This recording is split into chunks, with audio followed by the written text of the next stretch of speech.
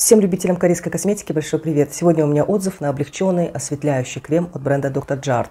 Полное его название VIS7 Tonic Light. Название себе включает аббревиатуру VIS7, что означает, что в составе находится комплекс из 7 витаминов. Также сюда входит биглюкан, это полисахарид, он выделен из овса. Это натуральный иммуностимулятор, и он обладает антиоксидантными свойствами. Далее идет экстракт солодки, который обладает противовоспалительными и противомикробными свойствами. Также снимает раздражение и отек. И еще плюс к этому препятствует выработки меланина. Ну и далее по списку пантенол, масло лимона, мандарина, апельсина и, конечно же, неоцинамид. Именно на этом компоненте базируются все азиатские продукты с пометкой whitening.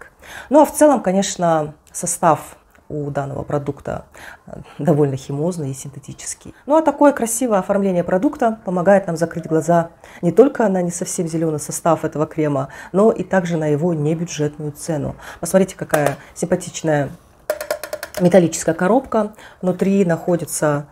Э, так, здесь какая-то бумажка, инструкция. И внутри находится такая банка вот из толстого стекла. Все очень выполнено, конечно, замечательно, красиво. И такую баночку охота непременно повертеть в руках.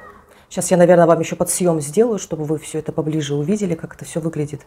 И внутри вот здесь вот у нас бултыхается лопатка. Но меня подкупила не упаковка, хотя она тоже, наверное, сыграла свою роль, а в первую очередь то, что производитель делает акцент на том, что крем легкий, то, что он э, имеет физические фильтры, что он еще к тому же осветляет и бонусом увлажняет. Вот все-таки поэтому я на него обратила внимание. О том, что крем имеет легкий тон-ап эффект, я уже в принципе, знала об этом. Но я не предполагала, что он будет выбеливать настолько сильно. А, видимо, вот э, то, что в составе имеется нефритовая пудра, и плюс еще к этому идет диоксид титана, поэтому идет такой сильный отбеливающий эффект. Отсюда следует вывод, что он подходит только белоснежкам. Вот такому типу кожи, как у меня, вот такому вот оттенку он не подходит, потому что его на лице видно. То есть сразу после нанесения э, ваша кожа приобретает такой белесый оттенок, ну, в общем, этот крем выбеливает. Да, конечно, он маскирует какие-то э, ну, совсем мелкие несовершенства кожи, но при этом сам крем на лице тоже видно. Поэтому зачем такой крем нужен, я не знаю. Кстати, впитывается он довольно долго. Э, после нанесения на лице он лежит такой вот плотной пленкой, которая не дышит. Но из плюсов могу сказать, что он все-таки поры не забивает, несмотря на наличие силикона в составе. Но на лето он мне однозначно не подойдет. А, хотя производитель обещал, что этот крем легкий, и даже в названии там фигурирует слово облегченный. Ну и увлажнение здесь тоже стоит под большим вопросом. Да, он вроде бы немного удерживает влагу, извиняюсь, удерживает влагу в коже, но все-таки это происходит больше из-за того, что создается вот эта вот пленка на коже, вот она все-таки и удерживает влагу.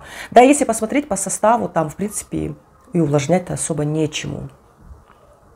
Поэтому зачем мне вот такой вот крем, ну, такой вот небюджетный, который просто, э, просто удерживает влагу в коже и все. Э, тогда я могу купить какой-нибудь любой бюджетный крем за 2000 тенге и спокойно им пользоваться, и он будет не хуже увлажнять вот этого вот крема, еще он плюс, ну, не будет меня выбеливать. И я вот даже больше чем уверена, что в зимнее время, особенно если у вас кожа сухая, вот этого вот увлажнения вам будет все-таки не хватать. Вот. Ну, я бы, наверное, смирилась со всеми вот этими какими-то неудобствами, с какими-то нюансами, если бы только не эффект выбеливания. Вот, э, вот с таким вот сюрпризом я, конечно, мириться не готова. В общем, в заключении хочу сказать, что он мне не подошел ни по каким параметрам. И да, кстати, если вот, ну, у меня бывают такие ситуации, когда мне крем для лица не подошел, и потом, чтобы его не выбрасывать, я его использую в качестве ну, увлажнения после душа.